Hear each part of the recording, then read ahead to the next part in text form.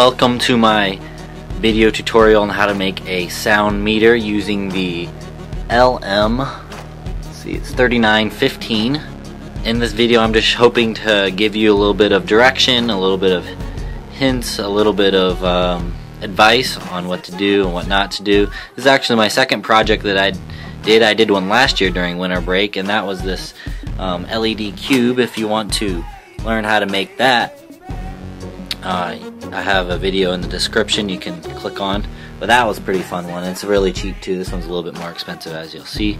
So I'm just gonna show you what you're gonna need to start off and here's my list. See focus there. So here's my list um, of things that you're gonna get. As you can see down there at the bottom is going to be about 70 bucks all together. Now the plexiglass was pretty expensive you can see on the top.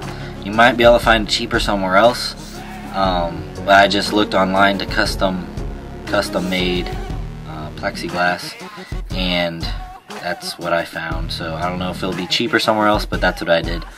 But that's pretty much uh, half the cost, or more than half as you can see. Um, then you're to need all these things. The LM3915, which is the actual chip. It's a very simple chip, easy to wire up. I'll show you a data sheet here in a little bit. I also have one in the, the link in the description you can click on and look at. But it's really easy to wire up. Then you're going to have your audio jack, a pre-soldered board, which is going to be this thing.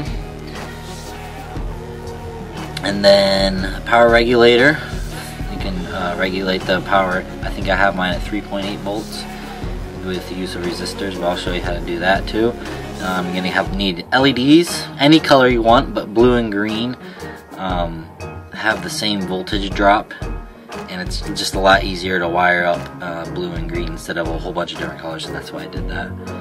Um, it looks like I made a typo there. So It's supposed to be 3.5 millimeter audio splitter, and then also a male-to-male -male audio jack. Then you need PVC. As you can see down here, the spacers, those black spacers there are all PVC. As well as black spray paint. And then these rods here at the end. Quarter 20 rods and then those uh, bolts right there too to bolt them on. Keep everything together. Um, and then that's all you're going to need at Lowe's and here's some things that I already had that's why I don't have a price for them so if you don't have them eBay is a good spot TI is a pretty good spot Texas Instruments so just hit those places up and see what you can find. For those resistors you probably need uh, 5 plus or minus 5% is good enough. And 10% is as well. It's not a big deal on this small amount of a project. Um, but you're gonna need 100 ohm 200 220 ohm as well. And then small jumper wires um, as you can see on the board there. Focus a little better. But as you can see those yellow and orange ones there that's what I mean by that. Um, longer wires which are found here that'll hook that uh, wire up the LEDs uh, as well as a household wire. And what I mean by that is this right here. This uh, is just a bare copper wire and it runs the whole length of the of my meter. And then a wall wart 18 volt which is actually right here. Um, I just used a old one from I don't know I found it in a drawer in our house. Just use that. Um, then zip ties, soldering iron solder. You don't Gonna use quite a bit of solder on this. Maybe not as much as the LED cube, but quite a bit. Um, inline power switch if you want. I don't have it. All I all I do is unplug the wall wart over there, and then that's my off switch. Then the PC PCB board, and I have that right here. Um, put it down here. It's just basically this is the same as this, except you can kind of arrange stuff and check things out is really helpful to just use this as a testing platform to make sure everything works before you actually solder onto that one. Um, so you have make sure you have everything working correctly. You don't want to wire everything up and then all of a sudden, oh stink, I uh, forgot to do something or forgot to put something in, then you have to unsolder, which is just a pain. So it's just a little bit easier to have one of these guys um, and kind of do your testing on that. Um, so yeah, that is what you're going to need.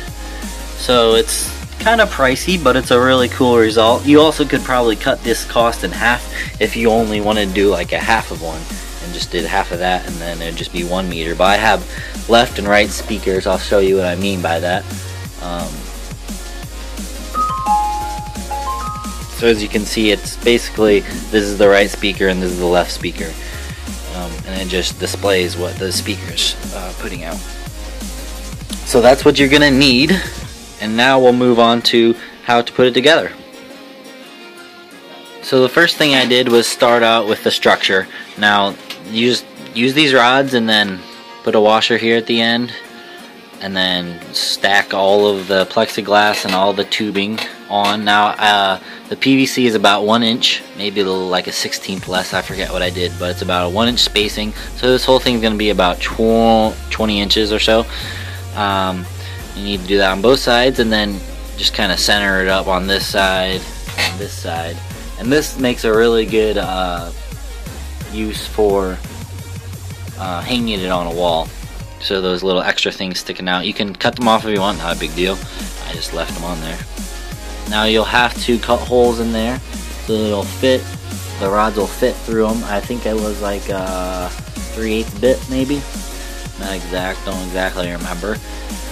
You want to cut holes there in the corner for the zip tie to fit in so that they have a, a good place to zip the wires together so it'll be nice and neat there. As you can see there's a zip tie and then it's kind of holding the wires in.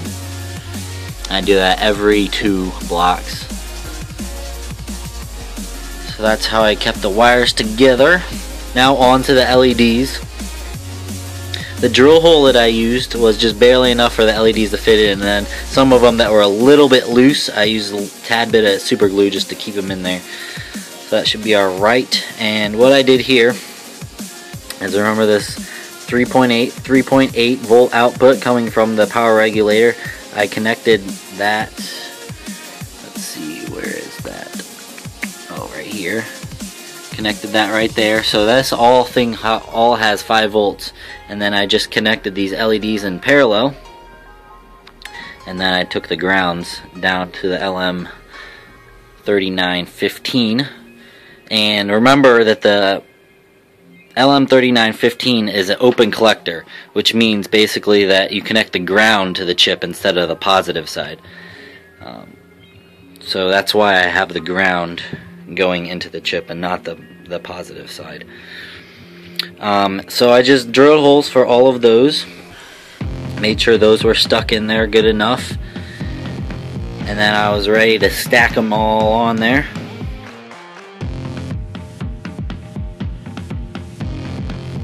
So first I'm going to start off with how to wire this board up. It's actually super super simple. Um, I have my wall wart positive and negatives coming in over here so I believe this top one's ground and the bottom one's uh, positive. So then you'll just hit up the data sheet and I'll put that up in the link like I said. Um, and then just kind of wire it together. Now the one this resistor over here is gonna be the 470 this one right here is the 100 this one is the I believe it's 220 and this one's the same as this guy so it's 470 and basically you just wire up this first one and then do the exact same thing over here. Um, and then for the power regulator you're basically going to well just follow what I did there. I'm not going to explain it.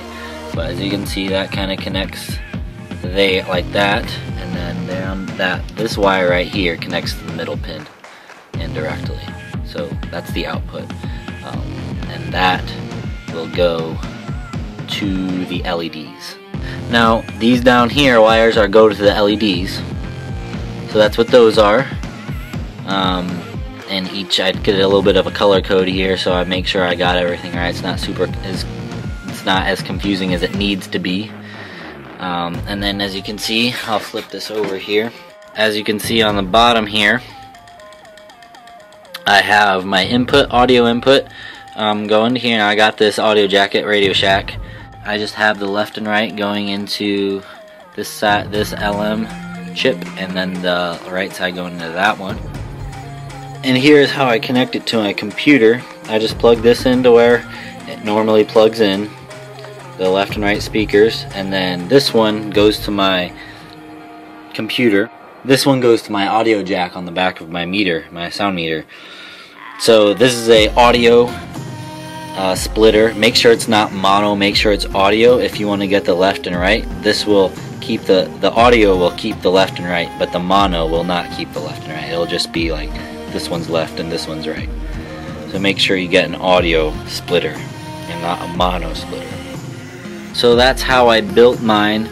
Now you could use this in many different forms. This, this is just the, the way I did it with the left and right speaker. You could put this, I don't know, maybe like on a Christmas tree with the uh, bottom rung around a Christmas tree with bottom lights and then the second level, third level, etc., all the way to the top of the tree, and you could have the Christmas tree going to music.